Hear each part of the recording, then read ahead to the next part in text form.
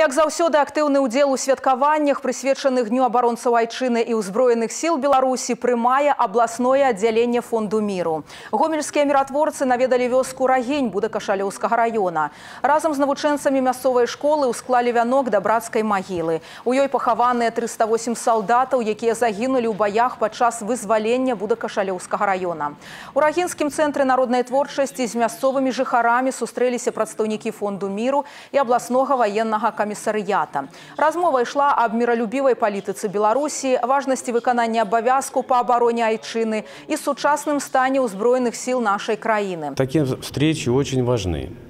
Совместно с Белорусским фондом мира мы приезжаем вот, э, в районы Гомельской области и рассказываем молодежи, населению этих районов о современных вооруженных силах, о развитии их, настоящем состоянии, о том, что мы военные можем. Мы хотим еще немножко поднять роль, значимость и авторитет нашей армии, наших защитников, призвать наше молодое поколение, особенно парней, что не надо бояться идти служить в армию, чтобы служба в армии – это очень почетно.